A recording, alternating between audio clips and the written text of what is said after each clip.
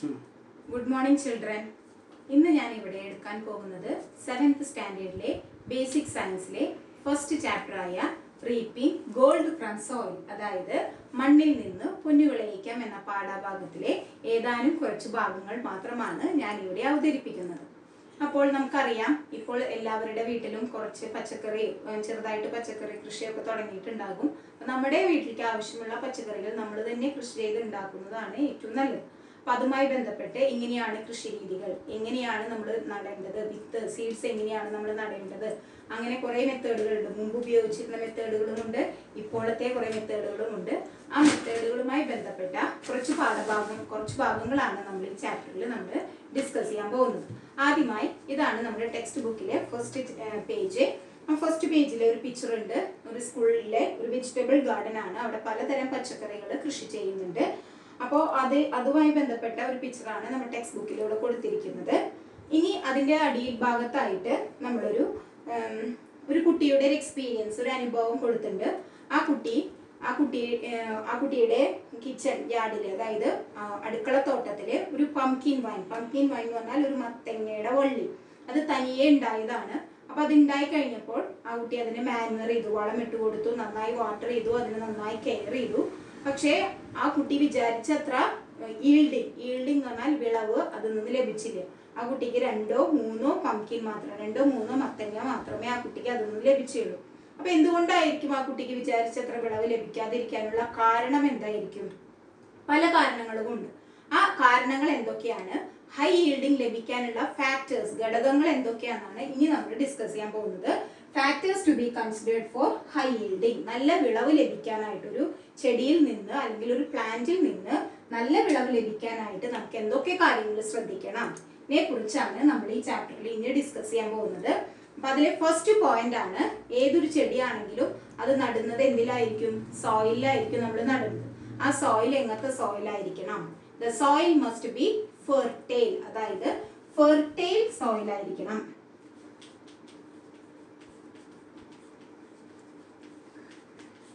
fertile soil means വളക്കൂറുള്ള മണ്ണ്. നല്ല വളക്കൂറുള്ള മണ്ണിൽ മാത്രമാണ് എത്ര നല്ല സീഡ് നമ്മൾ പ്ലാന്റ് ചെയ്താലും നല്ല വളക്കൂറുള്ള മണ്ണിൽ നിന്ന് മാത്രമാണ് നമുക്കതിന്ന് നല്ല വിളവ് ലഭിക്കുള്ളൂ അപ്പോൾ ഫസ്റ്റ് ഫാക്ടർ എന്ന് പറയുന്നത് എന്താണ്? ഫെർട്ടൈൽ സോയിൽ ആണ്. നല്ല വളക്കൂറുള്ള മണ്ണെന്നായിരിക്കണം നമ്മൾ എന്ത് ചെയ്യേണ്ടത്? നമ്മൾ പ്ലാന്റ് നടേണ്ടത്. അതാണ് ഫസ്റ്റ് പോയിന്റ് ഇനി വളക്കൂറുള്ള മണ്ണ് മാത്രം മതിയോ? അത് മാത്രം പോരാ. ഹൈ എൽഡിങ് ആയിട്ടുള്ള second factor favourable climate favourable climate favourable climate എന്ന് പറഞ്ഞാൽ അനുയോജ്യമായ കാലാവസ്ഥ. എല്ലാ പ്ലാന്റും എല്ലാ സ്ഥലത്തും ഒരേപോലെ ഒരേ കാലാവസ്ഥയിൽ വളരില്ല പല പ്ലാന്റിനും പല കാലാവസ്ഥയായിരിക്കും. ചിലത് വേനൽക്കാലത്ത് വളരുന്ന പ്ലാന്റ് വെജിറ്റബിൾസ് ഉണ്ട്. ചിലത് മഴക്കാലത്ത് ഉണ്ടാവുന്നുണ്ട്. ചിലത് മഞ്ഞുകാലത്ത് ഉണ്ടാവുന്നുണ്ട്. ഇപ്പോൾ ക്യാബേജ് കോളിഫ്ലവർ പോലെയുള്ള ചെടികളൊന്നും ആദ്യം നമ്മുടെ അവിടെ ഒന്നും ഉണ്ടായിരുന്നില്ല. എന്നാൽ ഇപ്പോൾ നമ്മുടെ അവിടെ ക്യാബേജും കോളിഫ്ലവറും ഉണ്ട്. അപ്പോൾ നമ്മുടെ കാലാവസ്ഥയ്ക്ക് അനുയോജ്യമായ സീഡ്സ് അവരെ ഉൽപ്പാദിപ്പിച്ചു തുടങ്ങി. എന്നാൽ അത് നടാനും അത് നടാനും അതിന്റെതായി അത് നടാനും അതിന്റെതായ ഒരു കാലാവസ്ഥയുണ്ട്. അതായത് നമ്മുടെ കേരളത്തിലെ കാലാവസ്ഥ ലെ എന്ന് പറഞ്ഞത് മഞ്ഞുള്ള സമയം എന്ന് പറയുന്നത് നവംബർ ഡിസംബർ ജനുവരി മാസങ്ങളിലാണ്. മഞ്ഞുള്ള സമയത്താണ് നമ്മൾ ഈ കാബേജും കോളിഫ്ലവറും ഒക്കെ നടുന്നത്.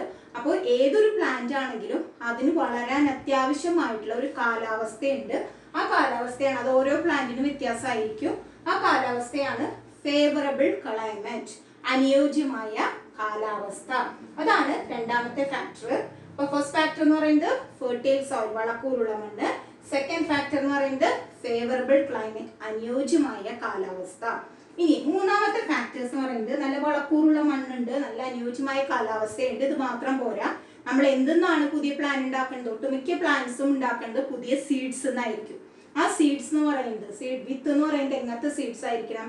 നല്ല ക്വാളിറ്റി ഉള്ള നല്ല ഗുണമേന്മയുള്ള വിത്താണെങ്കിൽ മാത്രമാണ് നമുക്ക് നമുക്കതിന് പുതിയ പ്ലാന്റ് കിട്ടുകയുള്ളൂ. അതാണ് മൂന്നാമത്തെ point quality of seeds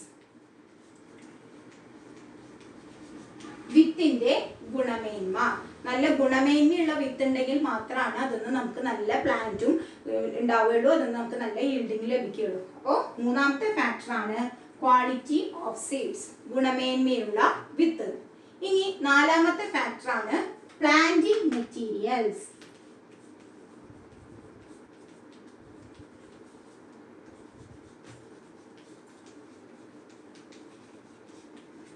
planting materials എന്ന് പറഞ്ഞാൽ നടീൽ വസ്തുക്കൾ. അതായത് നമ്മൾ നടാനായിട്ട് ഉപയോഗിക്കുന്ന സീഡ് ആണെങ്കിലോ അല്ലെങ്കിൽ ചിലപ്പോൾ എല്ലാ പ്ലാന്റും സീഡ് എന്നായിരിക്കില്ല ചിലത് സ്റ്റെം ഉപയോഗിച്ചിട്ട് സ്റ്റെം നമ്മൾ നട്ടിട്ട് അതിന്ന് പുതിയ പ്ലാന്റ് ഉണ്ടാവണമെന്നുണ്ടാവും അപ്പൊ ടാപ്പിയോക്ക കപ്പ കൊള്ളി ഇതൊക്കെ പറയുന്നത് സ്റ്റെമ്മാണ് നമ്മൾ നടുക. അതിന്റെ സ്റ്റെം നടണ്ടാണ് ആ സ്റ്റെമ്മോ അല്ലെങ്കിൽ സീഡ്സോ നമ്മൾ നടാൻ ഉപയോഗിക്കുന്നത് എന്താണോ അതൊക്കെ ഇനി മൊത്തത്തിൽ പറയുന്നതാണ് എന്ത് പ്ലാന്റിംഗ് മെറ്റീരിയൽസ് ഇതാണ് ഇമ്പോർട്ടന്റ് ആയിട്ടുള്ള നാല് ഫാക്ടേഴ്സ് ഹൈ ഈൽഡിങ് കിട്ടാൻ നല്ല വിളവ് ലഭിക്കാനായിട്ട് ഇമ്പോർട്ടന്റ് ആയിട്ടുള്ള നാല് ഫാക്ടേഴ്സ് എന്ന് പറയുന്നത് first one is fertile soil വളക്കൂറുള്ള മണ്ണ്. Second one is favourable climate അനുയോജ്യമായ കാലാവസ്ഥ. മൂന്നാമത്തെ ഫാക്ടർ തേർഡ് ഫാക്ടർ എന്ന് പറയുന്നത് ക്വാളിറ്റി ഓഫ് സീഡ്സ് നല്ല ഗുണമേന്മയുള്ള വിത്ത്. നാലാമത്തെ ഫാക്ടർ എന്ന് പറയുന്നത് പ്ലാന്റിംഗ് മെറ്റീരിയൽസ് നടീൽ വസ്തുക്കൾ. ഇത് മാത്രം പോരാ. ബാക്കിയുള്ള ഫാക്ടേഴ്സ് ഒക്കെ എന്ത് തന്നെയാണ്?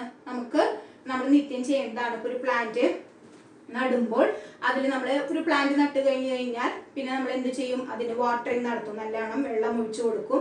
പിന്നെ അതിന് വളം ഇടേണ്ട സമയമാകുമ്പോൾ വളം ചെയ്തു കൊടുക്കും. അതൊക്കെ എപ്പോഴും ഉള്ള ഫാക്ടേഴ്സ് ആണ്. അപ്പോൾ വാട്ടറിങ് മാനുവറിങ് ഇതൊക്കെ എന്താണ്? നമ്മൾ സ്ഥിരമായിട്ട് ഉപയോഗിക്കുന്ന ഫാക്ടേഴ്സ് തന്നെയാണ്. ഇത് കൂടാതെയുള്ള നാല് ഇമ്പോർട്ടന്റ് ആയിട്ടുള്ള ഫാക്ടേഴ്സ് ആണ്. ഹൈ yieldiങ് നല്ല വിളവ് ലഭിക്കാനായിട്ടുള്ള ഇമ്പോർട്ടന്റ് ആയിട്ടുള്ള നാല് ഫാക്ടേഴ്സ് ആണ്. Fertile soil favourable climate quality of seeds planting materials ഇതിലെ ഒരു ഫാക്ടറിനെ കുറിച്ചാണ് നമ്മൾ ഇപ്പോൾ ഡിസ്കസ് ചെയ്യാൻ പോകുന്നത്. ആ ഫാക്ടറാണ് നമ്മൾ ഈ പറഞ്ഞ മൂന്നാമത്തെ ഫാക്ടർ എന്ന് പറയുന്നത് ക്വാളിറ്റി ഓഫ് സീഡ്സ് വിത്തിന്റെ ഗുണമേന്മ. എങ്ങനത്തെ തരം വിത്താണ് എങ്ങനത്തെ തരം സീഡാണ് നമ്മൾ ഒരു പുതിയ പ്ലാന്റ് പ്രൊഡ്യൂസ് ചെയ്യാനായിട്ട് നമ്മൾ ഉപയോഗിക്കേണ്ടത്. പുതിയൊരു സാപ്ലിങ്സ് പുതിയൊരു തൈക്കൾ ഉണ്ടാക്കാനായിട്ട് ഉപയോഗിക്കേണ്ടത് എങ്ങനത്തെ തരം സീഡ്സ് ആണ്. അതിനെ കുറിച്ചാണ് ഇനി നമ്മൾ ഡിസ്കസ് ചെയ്യാൻ പോകുന്നത്. അതായത് ഇതിലെ മൂന്നാമത്തെ പോയിന്റ് ആണ് നമ്മളിവിടെ ഡിസ്കസ് ചെയ്യാൻ പോകുന്ന പോയിന്റ് ക്വാളിറ്റി ഓഫ് സീഡ്സ് വിത്തിന്റെ ഗുണമേന്മ. അപ്പൊ എങ്ങനത്തെ തരം വിത്ത്? അപ്പൊ നമ്മളിപ്പോ പറഞ്ഞു ഒരു കുട്ടിയുടെ എക്സ്പീരിയൻസ് പറഞ്ഞു. അതായത് ആ കുട്ടി പംകിൻ വൈൻ എന്ന് നമുക്ക് ആ കുട്ടിക്ക് വിചാരിച്ചത്ര പങ്കിൻ കിട്ടാതെയുള്ള കാരണങ്ങൾ ഇതിൽ ഏതെങ്കിലും ആവാം. അതായത് സോയിൽ ഫെർട്ടൈൽ ആവാതിരിക്കാം അല്ലെങ്കിൽ നല്ല ഫേവറബിൾ ക്ലൈമറ്റ് അല്ലാതെ ഇരിക്കാം അല്ലെങ്കിൽ ആ സീഡ് തനിയെ നട്ടതാന്ന് പറഞ്ഞു തനിയെ വന്നതാന്ന് പറഞ്ഞു. അപ്പൊ തനിയെ വന്നതാന്ന് പറയുമ്പോൾ സീഡ്സ് നല്ല ക്വാളിറ്റിയുള്ള സീഡ്സ് ആയിരിക്കണം എന്നില്ല അതായിരിക്കാം കാരണം. അപ്പൊ ഒരു പ്ലാന്റ് ഒരു ലേഡീസ് ഫിംഗർ എടുത്തു. ലേഡീസ് ഫിംഗർ എന്ന് പറഞ്ഞാൽ അറിയാം വെണ്ടക്കായ. ഈ ലേഡീസ് ഫിംഗർ ഒരു ലേഡീസ് ഫിംഗറിന്റെ ഉള്ളിൽ ഒരുപാട് വിത്ത് സീഡ്സ് ഉണ്ടാവും ആ സീഡ്സ് എല്ലാതും നല്ല ക്വാളിറ്റിയുള്ള സീഡ്സ് ആണെന്നില്ല? ചിലത് നല്ല സീഡ്സ് ഉണ്ടാവും ചിലത് നല്ലതല്ലാത്തത് ഉണ്ടാവും അപ്പൊ നമ്മൾ ഈ ഒരു ഇത് നടുമ്പോൾ നല്ല ക്വാളിറ്റിയുള്ള സീഡ്സ് നട്ടാൽ മാത്രമാണ് അതിന് നമുക്കൊരു പുതിയ പ്ലാന്റ് പ്രൊഡ്യൂസ് ചെയ്യുമ്പോൾ നല്ല ഹൈ ഇൽഡിങ് ഉള്ള പ്ലാന്റ് ആയിരിക്കും. അപ്പൊ എങ്ങനത്തെ തരം എന്തൊക്കെ കാര്യങ്ങളാണ് നമ്മൾ ഒരു സീഡ് സെലക്ട് ചെയ്യുമ്പോൾ ശ്രദ്ധിക്കേണ്ട ഫാക്ടേഴ്സ് എന്തൊക്കെയാണ്? What are the factors to be considered while selecting a seed ഒരു സീഡ് നമ്മൾ സെലക്ട് ചെയ്യുമ്പോൾ എന്തൊക്കെ കാര്യങ്ങളാണ് നമ്മൾ ശ്രദ്ധിക്കേണ്ടത്? അതിനെ കുറിച്ചാണ് ഇനി അടുത്ത് നമ്മൾ ഡിസ്കസ് ചെയ്യണത്. അപ്പൊ നമ്മൾ ടെക്സ്റ്റ് ബുക്കിലെ നെക്സ്റ്റ് പേജ് പേജ് നമ്പർ എയ്റ്റിലെ രണ്ട് ഫിഗേഴ്സ് കൊടുത്തിട്ടുണ്ട്. ഒരു ലേഡീസ് ഫിംഗർ പ്ലാന്റിന്റെ ഫിഗർ ആണ്. ഫസ്റ്റ് ഫിഗർ എന്ന് പറയുന്നത് ഒരു ലേഡീസ് ഫിംഗർ ഒരു വെണ്ടക്കായയുടെ ചെടി. അതിൽ നല്ലോണം വെണ്ടക്കായൊക്കെ ലേഡീസ് ഫിംഗർ ഒക്കെ നന്നായി ഉണ്ടായിട്ടുണ്ട്. നല്ല വെണ്ടക്കായാണ്. എന്നാൽ സെക്കൻഡ് പിക്ചർ നോക്കൂ. സെക്കൻഡ് പിക്ചറിലെ ലേഡീസ് ഫിംഗർ എന്ന് പറയുന്നത് നല്ലതല്ല. അതിന് എന്തൊക്കെയോ ഡിസീസ് എന്തൊക്കെയോ അസുഖങ്ങളൊക്കെ വന്ന് ഇങ്ങനെ മുരടിച്ച പോലത്തെ ഒരു ലേഡീസ് ഫിംഗർ പ്ലാന്റ് ആണ് നമുക്കിവിടെ കാണുന്നത്. അപ്പോൾ ഈ ഒരു പിക്ചറുമായി ബന്ധപ്പെട്ട കുറച്ച് ക്വസ്റ്റ്യൻസ് ഇവിടെ കൊടുത്തിട്ടുണ്ട്. ആ ക്വസ്റ്റ്യൻസുമായി ബന്ധപ്പെട്ട് ക്വസ്റ്റ്യൻസ് ഡിസ്കസ് ചെയ്ത് കഴിയുമ്പോൾ തന്നെ നമുക്ക് മനസ്സിലാകും നമ്മളൊരു സീഡ് സെലക്ട് ചെയ്യുമ്പോൾ എന്തൊക്കെ കാര്യങ്ങൾ ശ്രദ്ധിക്കണം.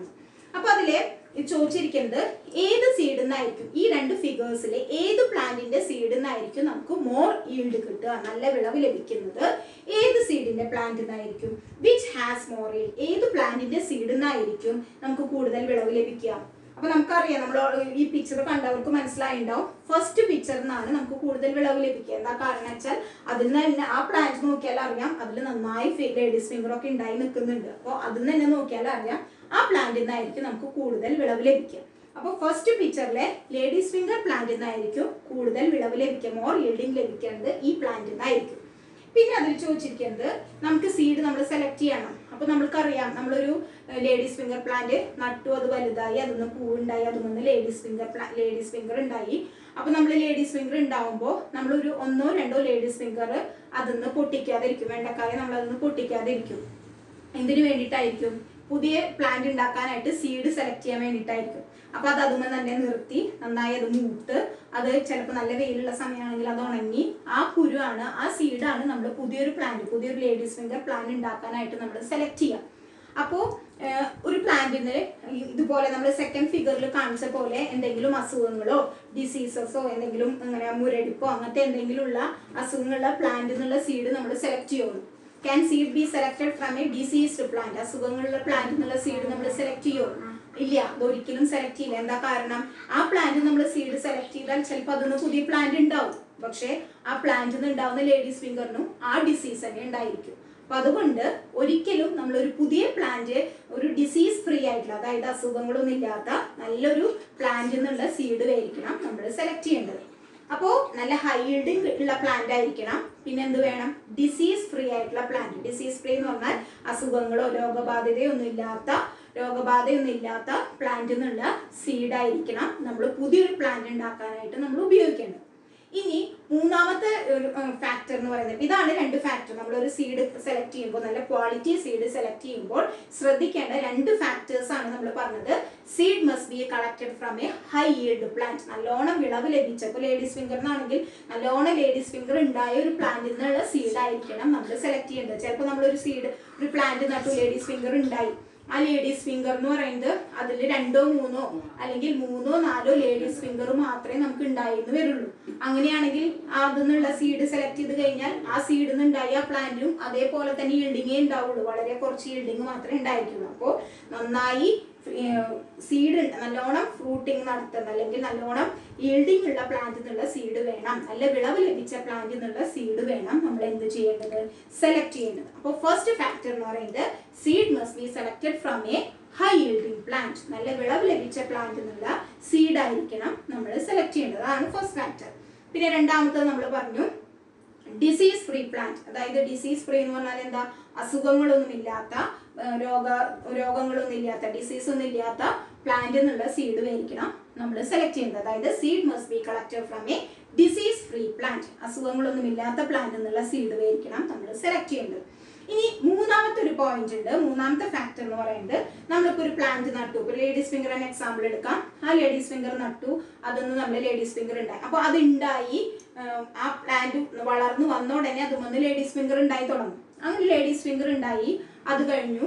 അത് കഴിഞ്ഞു കുറച്ച് സമയം കുറച്ച് നാൾ അതുപോലെ ലേഡീസ് ഫിംഗർ ഉണ്ടായില്ല. പിന്നെ വീണ്ടും അതിന് രണ്ട് ലേഡീസ് ഫിംഗർ ഉണ്ടായി തുടങ്ങി. പിന്നെ അത് കഴിഞ്ഞ് പിന്നെ കുറച്ച് നാൾ ലേഡീസ് ഫിംഗർ ഉണ്ടായി ഉണ്ടായില്ല. പിന്നെ കുറച്ച് കഴിയുമ്പോൾ ആ പ്ലാന്റ് കുറച്ച് നാൾ കഴിഞ്ഞ് എല്ലാ പ്ലാന്റും ഉണങ്ങി നശിച്ചു പോകും ആ നശിച്ചു പോവാറാവുന്ന സമയത്ത് അതിൽ നിന്ന് കുറച്ച് ലേഡീസ് ഫിംഗർ ഉണ്ടായി. അപ്പൊ ഈ മൂന്ന് സ്റ്റേജിലാണ് ആ ഒരു പ്ലാന്റിന് ലേഡീസ് ഫിംഗർ ഉണ്ടായത്. ആദ്യം ആ പ്ലാന്റ് ഉണ്ടായി തുടങ്ങിയപ്പോൾ കുറച്ച് ലേഡീസ് ഫിംഗർ ഉണ്ടായി വെണ്ടക്കായ ഉണ്ടായി. അത് കഴിഞ്ഞ ഒരു മിഡ് സ്പാൻ മിഡ് സ്പാൻ എന്ന് പറഞ്ഞാൽ അതിന്റെ ഗ്രോയിങ് സ്റ്റേജിന്റെ മധ്യഭാഗം. അതായത് മിഡ് സ്റ്റേ മിഡിൽ സ്റ്റേജിലെ കുറച്ച് ലേഡീസ് ഫിംഗർ ഉണ്ടായി. അത് കഴിഞ്ഞ് ആ പ്ലാന്റ് ഉണങ്ങാ ഉണങ്ങി നാശാവാറ് അത് അപ്പോഴും കുറച്ച് ലേഡീസ് ഫിംഗർ ഉണ്ടായി. ഈ മൂന്ന് സ്റ്റേജിൽ ഉണ്ടായ ലേഡീസ് ഫിംഗറിലെ ഏത് ലേഡീസ് ഫിംഗർ ആയിരിക്കും നമ്മളൊരു സീഡായിട്ട് സീഡിനായിട്ട് സെലക്ട് ചെയ്യാം? അപ്പൊ നമ്മൾ സീഡ് സെലക്ട് ചെയ്യുമ്പോൾ ആ ഫ്രൂട്ട് ഏത് പ്ലാന്റ് ആണോ? ലേഡീസ് ഫിംഗർ ആയിക്കോട്ടെ അല്ലെങ്കിൽ ഏതൊരു പ്ലാന്റ് ആയിക്കോട്ടെ അതിൽ നിന്നുണ്ടാവുന്ന ഫ്രൂട്ട് എന്ന് പറയുന്നത് ആദ്യം ഉണ്ടായ ഫ്രൂട്ട് നമ്മൾ സെലക്ട് ചെയ്യാൻ പാടില്ല. എന്നാൽ അവസാനം ആ പ്ലാന്റിന്റെ ഗ്രോയിങ് സ്റ്റേജ് കഴിയാറായിട്ടുണ്ടാകുന്ന സീഡ് നമ്മൾ സെലക്ട് ചെയ്യാൻ പാടില്ല. നമ്മൾ സെലക്ട് ചെയ്യേണ്ടത് എങ്ങനത്തെ ആയിരിക്കണം? ഇതിന്റെ രണ്ടിനും ഇടയിൽ അതായത് mid span fruits mid span അതായത് ആദ്യം ഉണ്ടായി കഴിഞ്ഞു അത് കഴിഞ്ഞ് രണ്ടാമത്തെ ഒരു സ്റ്റേജിൽ ഉണ്ടായി എന്ന് പറഞ്ഞില്ലേ? ആ ഉണ്ടായ സ്റ്റേജിലുള്ള സീഡായിരിക്കണം നമ്മൾ എന്ത് ചെയ്യേണ്ടത്? സെലക്ട് ചെയ്യേണ്ടത്. ഇതാണ് മൂന്നാമത്തെ ഫാക്ടർ നമ്മൾ ക്വാളിറ്റി സീഡ് സെലക്ട് ചെയ്യുമ്പോഴുള്ള മൂന്നാമത്തെ ഫാക്ടർ എന്ന് പറയുന്നത് seeds must be collected from fruits that form in the mid span mid span എന്ന് പറഞ്ഞാൽ ഏകദേശം ഒരു മധ്യ മധ്യത്തെ അതായത് ആദ്യം ഉണ്ടായി കഴിഞ്ഞു അത് കഴിഞ്ഞ് പിന്നെ രണ്ടാമത് ഉണ്ടാകുന്ന സ്റ്റേജിലുള്ള സീഡ്സ് പ്ലാന്റ്സ് എന്നുള്ള സീഡ്സ് ആയിരിക്കണം നമ്മൾ സെലക്ട് ചെയ്യേണ്ടത്. അപ്പോൾ നമ്മൾ സീഡ് സെലക്ട് ചെയ്യുമ്പോൾ അതൊന്നും അപ്പോൾ തന്നെ നമ്മൾ വേറൊരു സീഡ് അതൊന്നും എടുത്തു പുതിയൊരു പ്ലാന്റ് ഉണ്ടാക്കാൻ പറ്റില്ല. അത് ഉണങ്ങി ഉണങ്ങിയിട്ട് വേണം. അത് ആ പ്ലാന്റ് നട്ട് ആ ഒരു സീഡ് നട്ടാലേ നമുക്ക് പുതിയ പ്ലാന്റ് ഉണ്ടാവുള്ളൂ അപ്പോൾ ഈ ഒരു മൂന്ന് കാര്യങ്ങൾ നമ്മൾ സീഡ് സെലക്ട് ചെയ്യുമ്പോൾ ഈ ഒരു മൂന്ന് കാര്യങ്ങൾ സെലക്ട് കൺസിഡർ ചെയ്തിട്ടേ നമ്മൾ ഒരു പുതിയ സീഡ് സെലക്ട് ചെയ്യാൻ പാടുള്ളൂ. എന്നാൽ മാത്രമേ നമുക്ക് എന്ത് ലഭിക്കുകയുള്ളൂ? ഹൈ ഈൽഡിങ് ലഭിക്കുകയുള്ളൂ. അപ്പോൾ നമ്മൾ നേരത്തെ പറഞ്ഞു ഹൈ ഈൽഡിങ് ലഭിക്കാനുള്ള ഒരു കാരണം എന്ന് പറയുന്നത് ക്വാളിറ്റി ഓഫ് സീഡ്സ് ആണ്. അങ്ങനെ നല്ല ക്വാളിറ്റി സീഡ് സെലക്ട് ചെയ്യണത് എങ്ങനെയായിരിക്കണം? നല്ല ഹൈ ഈൽഡിങ് പ്ലാന്റ് ആയിരിക്കും. നല്ല വിളവ് ലഭിച്ച പ്ലാന്റ് എന്നുള്ള സീഡ് ആയിരിക്കണം നമ്മൾ സെലക്ട് ചെയ്യേണ്ടത്. പിന്നെ seed must be collected from a disease free plant രോഗങ്ങളൊന്നും ഇല്ലാത്ത പ്ലാന്റ് എന്നുള്ള സീഡ് ആയിരിക്കണം നമ്മൾ സെലക്ട് ചെയ്യേണ്ടത്. മൂന്നാമത്തെ എന്ന് പറയുന്നത് മൂന്നാമത്തെ ഫാക്ടർ എന്ന് പറയുന്നത് ഒരു മിഡ് സ്പാൻ അതായത് ഉണ്ടായി കഴിഞ്ഞ ഫസ്റ്റ് സ്റ്റേജിലോ അല്ലെങ്കിൽ ലാസ്റ്റ് സ്റ്റേജിലോ ഉള്ള സീഡ് ആയിരിക്കില്ല. മിഡിൽ സ്റ്റേജിലുള്ള സീഡ് ആയിരിക്കണം നമ്മൾ സെലക്ട് ചെയ്യേണ്ടത്. ഈ മൂന്ന് ഫാക്ടേഴ്സ് ആണ് നമ്മൾ ഒരു സീഡ് സെലക്ട് ചെയ്യുമ്പോൾ ശ്രദ്ധിക്കേണ്ടത്. അപ്പോൾ factors to be considered while selecting seed from a plant ഇതാണ് മൂന്ന് കാര്യങ്ങൾ seed must be selected from a high yielding plant seed must be selected from a disease free plant seed must be selected from a uh, collected from the uh, that form in the mid span mid സ്പാനിലുള്ള seed ആയിരിക്കണം നമ്മൾ select ചെയ്യുന്നത് അപ്പോൾ ഈ ഫാക്ടറിൽ ഇതാണ് ഏറ്റവും important അപ്പോൾ seed നന്നായില്ലെങ്കിൽ പിന്നെ പ്ലാന്റിനെ കുറേ മാനുവറി ചെയ്തിട്ടോ വാട്ടറിങ് ചെയ്തിട്ടോ നല്ല ഫെർട്ടൈൽ സോയിലോ ഫേവറബിൾ ക്ലൈമറ്റോ ഒന്നും ആയിട്ട് കാര്യമില്ല. പക്ഷെ സീഡ് നല്ല സീഡാണെങ്കിൽ മാത്രമാണ് നമുക്ക് അതൊന്ന് വിചാരിച്ച ഈൽഡിങ് ലഭിക്കുകയുള്ളൂ ചിലപ്പോൾ ഈൽഡിങ് കിട്ടും പക്ഷെ നമ്മൾ വിചാരിച്ച പോലെ ഒന്നോ രണ്ടോ സീഡൊക്കെ അതിനുണ്ടാവുള്ളൂ. കൂടുതൽ സീഡ് ഉണ്ടാവാനുള്ള ചാൻസസ് പ്ലാന്റ് ഉണ്ടാവാൻ ഫ്രൂട്ട് ഉണ്ടാവാനുള്ള ചാൻസസ് കുറവാണ്. അപ്പോൾ നമ്മൾ ഒരു പുതിയ ഒരു പ്ലാന്റിൽ നിന്നുള്ള സീഡ് നമ്മൾ സെലക്ട് ചെയ്യുമ്പോൾ ക്വാളിറ്റി സീഡ് ആവുന്നത് എങ്ങനെയാണ്? ഹൈ ഈൽഡിംഗ് എന്നുള്ള പ്ലാന്റിൽ നിന്നുള്ള സീഡ് സെലക്ട് ചെയ്യുക ഡിസീസ് ഫ്രീ ആയിട്ടുള്ള പ്ലാന്റിൽ നിന്നുള്ള സീഡ് സെലക്ട് ചെയ്യുക സീഡ് സെലക്ട് ചെയ്യുമ്പോൾ മിഡ് സ്പാനിൽ ഉണ്ടാവുന്ന സീഡ് വേണം നമ്മൾ സെലക്ട് ചെയ്യേണ്ടത്. ഇത്രയും കാര്യങ്ങൾ ശ്രദ്ധിച്ചാൽ തന്നെ നമുക്ക് ഹൈ ഈൽഡിംഗ് ആയിട്ടുള്ള പ്ലാന്റ് കിട്ടും. ഇതാണ് ഈ ഹൈ ഈൽഡിംഗ് ആയിട്ട് ബന്ധപ്പെട്ട കാര്യങ്ങൾ.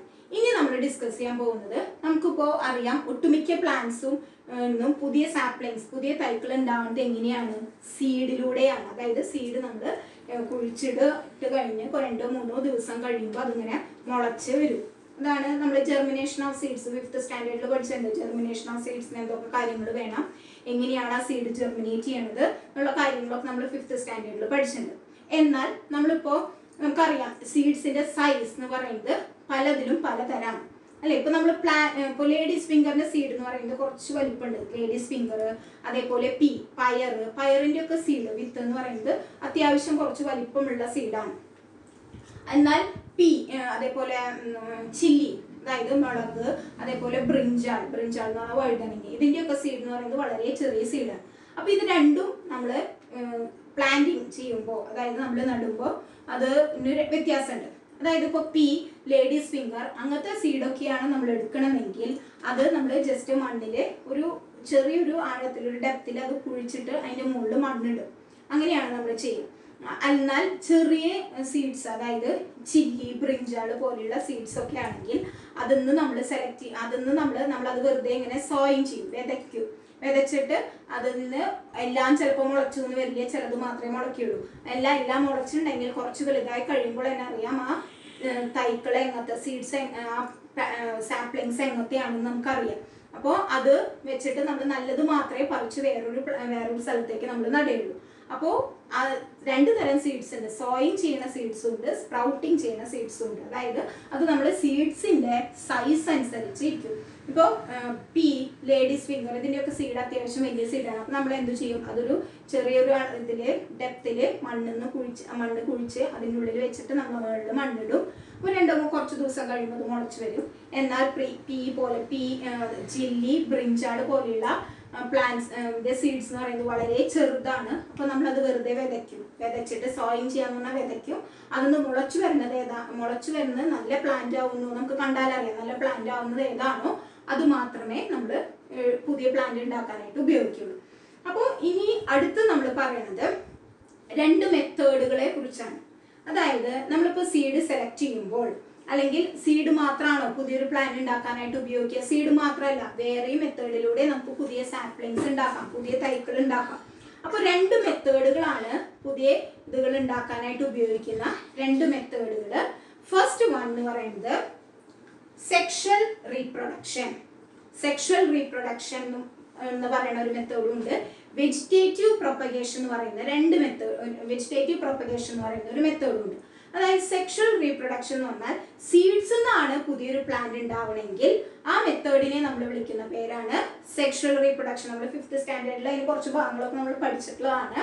The formation of seedlings from a seed ഒരു സീഡ് എന്നാണ് ഒരു വിത്ത് എന്നാണ് പുതിയൊരു പ്ലാന്റ് ഉണ്ടാവണമെങ്കിൽ ആ മെത്തേഡിനെ നമ്മൾ വിളിക്കുന്ന പേരാണ് സെക്ഷൽ റീപ്രൊഡക്ഷൻ എന്നാൽ വിത്തുനിന്ന് മാത്രമാണോ പുതിയ പ്ലാന്റ് ഉണ്ടാവുക അല്ല എല്ലാതും വിത്തുന്ന സീഡ്സ് നിന്ന് പ്ലാന്റ് ഉണ്ടാവുക ചിലതിന്റെ സ്റ്റെം നമ്മൾ മുറിച്ച് നട്ട് കഴിഞ്ഞാൽ പുതിയൊരു പ്ലാന്റ് ആയിട്ട് മാറും. ചിലതിന്റെ റൂട്ട് വേര് മുറിച്ച് വെച്ച് കഴിഞ്ഞാൽ പുതിയൊരു പ്ലാന്റ് ആയിട്ട് മാറും. അല്ല ചിലതിന്റെ ലീഫ് മുറിച്ച് വെച്ച് കഴിഞ്ഞാൽ പുതിയ പ്ലാന്റ് ആയിട്ട് മാറും. അങ്ങനത്തെ മെത്തേഡിനെ നമ്മൾ വിളിക്കുന്ന പേരാണ് വെജിറ്റേറ്റീവ് പ്രൊപ്പഗേഷൻ അത് മെത്തേഡിനെ വിളിക്കുന്ന പേരാണ് വെജിറ്റേറ്റീവ് പ്രൊപ്പഗേഷൻ അങ്ങനെ രണ്ട് മെത്തേഡുകളാണുള്ളത് സെക്ഷൽ റീപ്രൊഡക്ഷൻ എന്നുള്ള മെത്തേഡും വെജിറ്റേറ്റീവ് പ്രൊപ്പഗേഷൻ എന്നുള്ള മെത്തേഡും അപ്പോൾ sexual റീപ്രൊഡക്ഷനിലെ the formation of seedlings from seed is called sexual reproduction and the formation of new plants from stem root leaf etcetera are called vegetative propagation ഇങ്ങനെ രണ്ട് മെത്തേഡിലൂടെയാണ് നമ്മൾക്ക് പുതിയ പ്ലാന്റിനെ നമ്മൾ സെലക്ട് ചെയ്യുക പുതിയ പ്ലാന്റ് നമ്മൾ ഉണ്ടാക്കുക പുതിയ സാമ്പിളിങ്സ് ഉണ്ടാക്കുക ഇപ്പൊ നമ്മൾ പറയുകയാണെങ്കിൽ ടാപ്പിയോക്ക കപ്പ അതേപോലെ സ്വീറ്റ് പൊട്ടറ്റോ മധുരക്കിഴങ്ങ് ഇതിന്റെയൊക്കെ സ്റ്റെമ്മാണ് നമ്മൾ കട്ട് ചെയ്തിട്ട് സ്റ്റെം ഒരു സ്റ്റെമ്മ് തന്നെ കുറേ ചെറിയ ചെറിയ സ്റ്റെമ്മുകൾ നമ്മൾ കട്ട് ചെയ്തിട്ട് വെക്കുകയാണെങ്കിൽ അത് എല്ലാതും ഓരോ പുതിയ പ്ലാന്റ് ആയിട്ട് മാറും.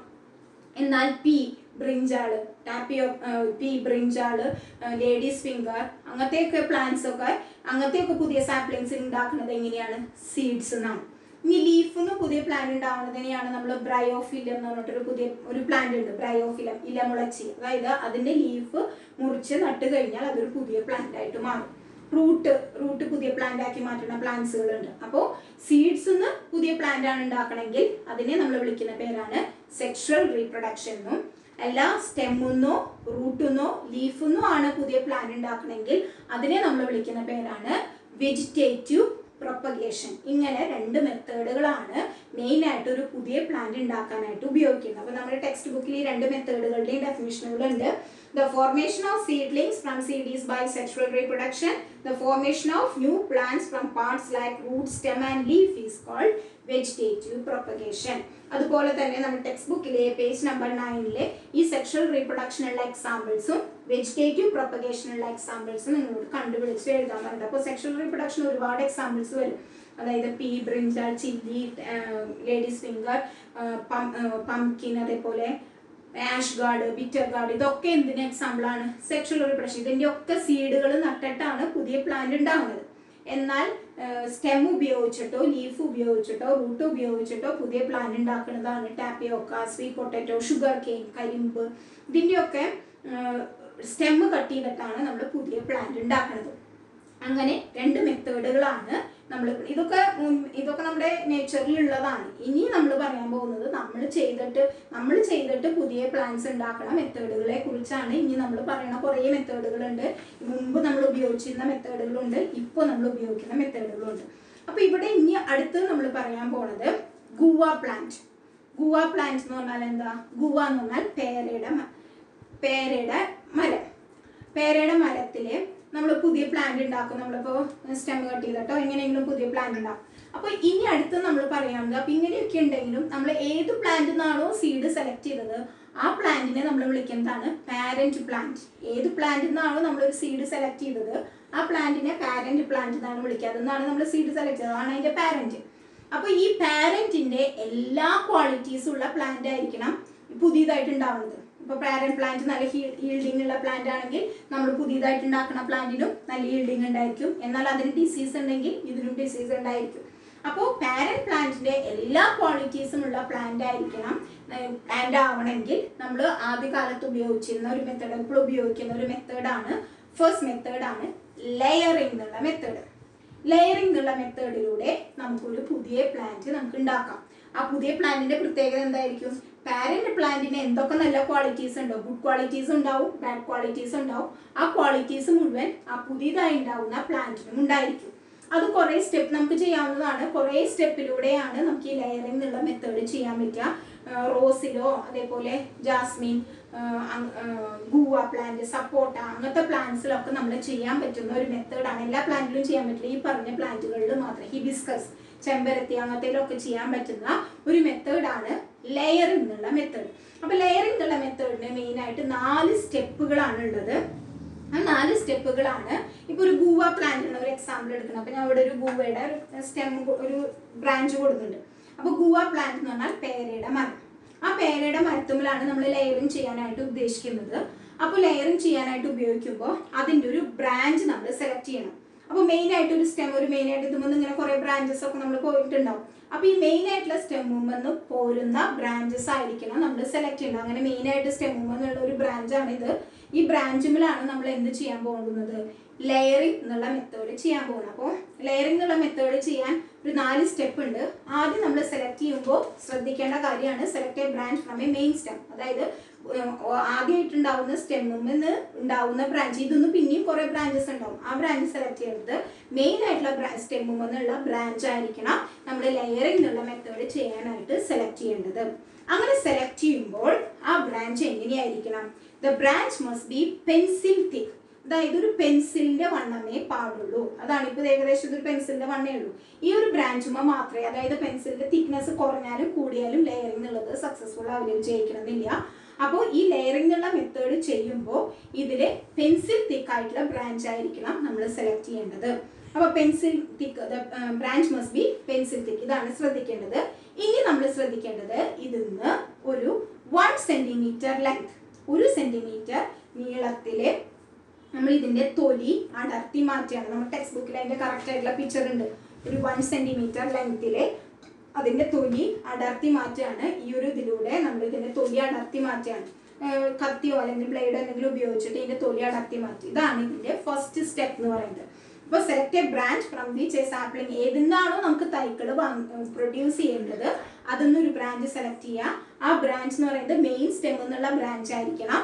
ആ ബ്രാഞ്ച് എന്ന് പറയുന്നത് എങ്ങനെയായിരിക്കണം? പെൻസിൽ തിക്ക് പെൻസിലിന്റെ വണ്ണമേ പാടുള്ളൂ.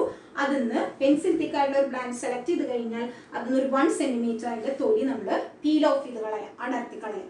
ഇനി ഇതിന്റെ സെക്കൻഡ് സ്റ്റെപ്പ് എന്ന് പറയുന്നത് നമ്മൾ പീൽ ഓഫ് ചെയ്ത ഭാഗം ഉണ്ടല്ലോ ആ പീൽ ഓഫ് ചെയ്ത ഭാഗത്തിൽ കുറച്ച് സാധനങ്ങൾ വെച്ച് നമ്മൾ ഇതിനെ കവർ ചെയ്യും.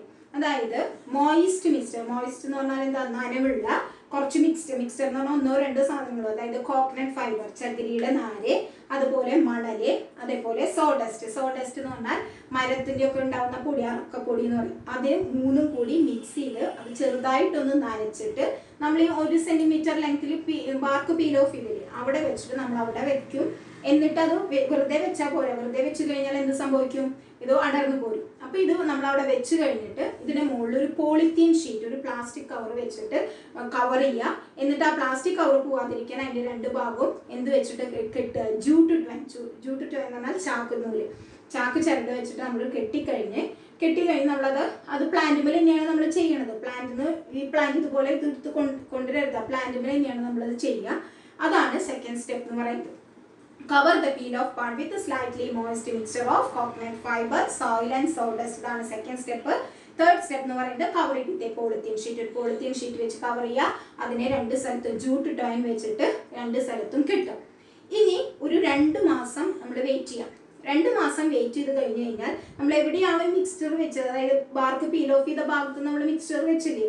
അവിടെ നിന്ന് അതിന് റൂട്ട്സുകൾ വന്ന് തുടങ്ങിയിട്ടുണ്ടാവും. റൂട്ട്സ് എന്ന് പറഞ്ഞാൽ എന്താ? ചെറിയ ചെറിയ റൂട്ട്സ് വേരുകൾ അതൊന്ന് വന്നു തുടങ്ങിയിട്ടുണ്ടാവും. രണ്ട് മാസം കഴിഞ്ഞ് നമ്മൾ ഇടയ്ക്ക് അതൊന്ന് നനച്ചു കൊടുക്കുക. എപ്പോഴും ഒരു നനവുണ്ടായിരിക്കണം. ഇടയ്ക്ക് നനച്ചു കൊടുത്ത് ഒരു രണ്ട് മാസം കഴിയുമ്പോൾ അതൊന്ന് കുറേ റൂട്ട്സുകൾ വരുന്നതാണ് വേരുകൾ നമുക്കതൊന്ന് വരുന്നതാണ് അപ്പം നമ്മൾ എന്ത് ചെയ്യുക വേരുകൾ വരേണ്ട അടിഭാഗത്ത് വെച്ചിട്ട് അതിനെ കട്ട് ചെയ്തിട്ട് നമ്മളൊരു വേറൊരു ഗ്രോ ബാഗിലോ അങ്ങനത്തെ എന്തെങ്കിലും വെച്ച് നമ്മൾ നടുക. എന്നിട്ട് ആ അത് കുറച്ച് ഒരു മാസം കൂടി കഴിയുമ്പോൾ ആ മണ്ണുമായിട്ട് അത് നന്നായി യോജിച്ചിട്ടുണ്ടാവും. അപ്പോൾ അതിനെ നമ്മൾ എടുത്തിട്ട് നമുക്ക് വേറെ സ്ഥലത്തേക്ക് വേണമെങ്കിൽ പോട്ടിലേക്കോ അല്ലെങ്കിൽ നിലത്തേക്കോ വേണമെങ്കിൽ നമുക്ക് അതിനെ പ്ലാൻ ചെയ്യാം. അപ്പോൾ ഈ ലെയറിംഗ് എന്നുള്ള മെത്തേഡ് നമ്മൾ ഈ പ്ലാന്റുമിൽ തന്നെയാണ് ചെയ്യുക. അപ്പോൾ ഒരു പ്ലാന്റ് ഒരു മരത്തിന് കുറേ ബ്രാഞ്ചസ് ഉണ്ടെങ്കിൽ കുറേ ബ്രാഞ്ചസ് നമുക്ക് ലെയറിങ് ചെയ്യാം. അപ്പോൾ ഒരു സമയത്ത് തന്നെ നമുക്ക് കുറേ സാപ്ലിങ്സ് ഇതിന്ന് പ്രൊഡ്യൂസ് ചെയ്യാൻ പറ്റും. അതാണ് ലെയറിങ്ങിന്റെ ഒരു അഡ്വാന്റേജസ് എന്ന് പറയുന്നത്. അപ്പോൾ ന്യൂ അപ്പോൾ ഇവിടെ രണ്ട് മാസം വെയിറ്റ് ചെയ്ത് കഴിഞ്ഞത് അപ്പോൾ ഈ റൂട്ട്സ് വരുന്നത് എന്താണ്? പുതിയൊരു പ്ലാന്റ് ആണ്. ആ പ്ലാന്റിനെ നമുക്ക് വേറൊരു സ്ഥലത്തേക്ക് നമുക്ക് മാറ്റി ഇതാണ് ലെയറിംഗ് ഉള്ള മെത്തേഡ് ഈ ലെയറിംഗ് ഉള്ള മെത്തേഡ് നമുക്ക് ചെയ്യാൻ പറ്റുന്ന പ്ലാന്റ്സ് ആണ്. ഞാൻ നേരത്തെ പറഞ്ഞു jasmine rose hibiscus cashew sapota guava ഇങ്ങനത്തെ പ്ലാന്റ്സിലൊക്കെ നമ്മൾ എന്ത് ചെയ്യാൻ പറ്റും? ലെയറിംഗ് ഉള്ള മെത്തേഡ് ചെയ്യാൻ പറ്റും. അപ്പോൾ ലെയറിംഗ് ഉള്ള സ്റ്റെപ്പിൽ നിന്നുള്ള നാല് സ്റ്റെപ്പുകളാണ് നമ്മൾ പറഞ്ഞത്. ഫസ്റ്റ് നമ്മൾ ഒരു ബ്രാഞ്ച് സെലക്ട് ചെയ്യുക ആ ബ്രാഞ്ച് എന്ന് പറയുന്നത് പെൻസിൽ തിക്ക് ആയിരിക്കണം. അത് മെയിൻ സ്റ്റെം എന്നുള്ള ബ്രാഞ്ച് ആയിരിക്കണം. അതിൽ ഒരു വൺ സെന്റിമീറ്റർ ലെങ്ത്തിൽ അതിന്റെ ബാർക്ക് പീൽ ഓഫ് ചെയ്യുക സെക്കൻഡ് സ്റ്റെപ്പ് പീൽ ഓഫ് ചെയ്ത ഭാഗത്ത് നമ്മൾ coconut coconut fibre sawdust soil ഇത് മൂന്നും വെച്ചിട്ടുള്ള മോയിസ്റ്റ് മിക്സർ അതിൽ നമ്മൾ വെക്കുക. അതിൽ പോളിത്തീൻ ഷീറ്റ് വെച്ച് കവർ ചെയ്യുക ജൂട്ട് അയൺ വെച്ചിട്ട് കെട്ടുക രണ്ട് മാസം വെയിറ്റ് ചെയ്ത് കഴിഞ്ഞ് കഴിഞ്ഞാൽ അതൊന്ന് റൂട്ട്സ് സ്പ്രൗട്ട് ചെയ്ത് വരുന്നതാണ്. ആ റൂട്ട്സ് ആ റൂട്ട്സ് നമ്മൾ മുറിച്ച് വേറൊരു പ്ലാന്റ് പോട്ടിലേക്കോ ഒക്കെ നടുകയാണെങ്കിൽ നമുക്കതൊരു പുതിയ പ്ലാന്റ് ആയിട്ട് കിട്ടും. അങ്ങനെയാണ് നമ്മൾ ലെയറിംഗ് എന്നുള്ള മെത്തേഡ് ചെയ്യുന്നത്. അങ്ങനെയാണ് ഇപ്പോൾ നഴ്സറികളിൽ അതായത് പുതിയ പുതിയ തൈകളോ സാപ്ലിങ്സ് ഒക്കെ ചെടികളൊക്കെ വിൽക്കുന്ന സ്ഥലങ്ങളിലൊക്കെ അവർ പുതിയ പ്ലാന്റ് ഉണ്ടാക്കേണ്ട ഈ ഒരു മെത്തേഡിലൂടെയാണ് എന്നാൽ എല്ലാ പ്ലാന്റ്സിനും ഇത് നടക്കില്ല. ഇതാണ് ആദ്യകാലം തൊട്ടേ ഉപയോഗിച്ചിരുന്ന മെത്തേഡ് അപ്പം ഇന്നത്തെ ക്ലാസ് എല്ലാവർക്കും മനസ്സിലായെന്ന് വിചാരിക്കുന്നു. ഇത്രയാണ് ഇന്ന് എടുക്കാൻ വിചാരിച്ചിരുന്ന ക്ലാസ് എല്ലാവർക്കും താങ്ക് യു.